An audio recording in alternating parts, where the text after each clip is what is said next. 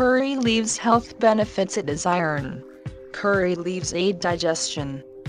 It is extensively used in Ayurvedic medicine for treating nausea, vomiting and diarrhea. Curry leaves help to flush out fats from our bodies. It reduces the level of bad cholesterol. Skin care. The extract of these leaves could cure irritations from insect bite and minor burns.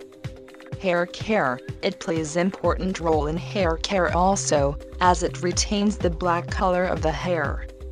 Mother care. Handful of curry leaves when taken immediately increases lactation after delivery.